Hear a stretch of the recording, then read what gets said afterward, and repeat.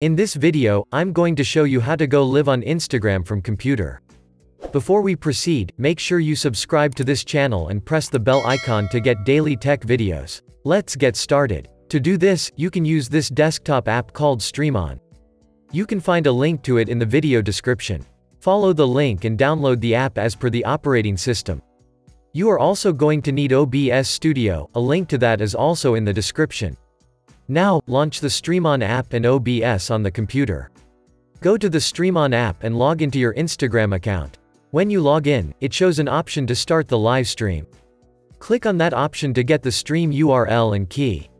Now come back to OBS and select the Open the Streaming controls from here.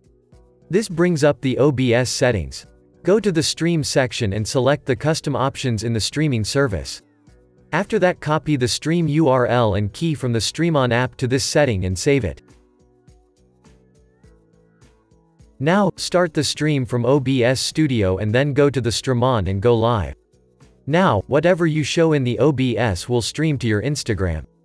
You can control what you want to show from this source section. You can add a webcam as the source, stream the entire screen, or any particular window. You can enable multiple sources too. Once you are done with the stream, stop it from the StreamOn app and then from OBS Studio. That's it guys, this is how you can go live on Instagram from a computer.